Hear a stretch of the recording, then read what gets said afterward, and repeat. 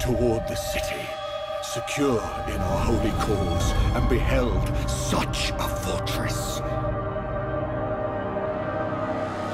And on every hand I saw a great plain of woe and cruel torment.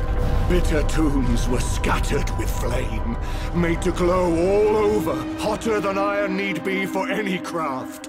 And such dire laments issued forth, as come only from those who are truly wretched, suffering, and forever lost.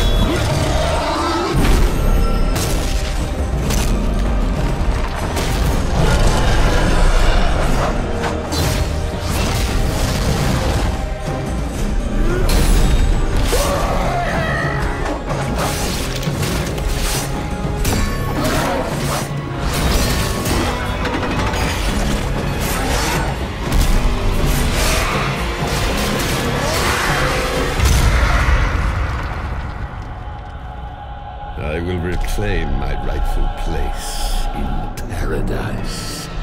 My path will be paved with the sins of man, and yours, Dante, shall be the bedrock of my return. And all that is good shall be gone from the universe forever!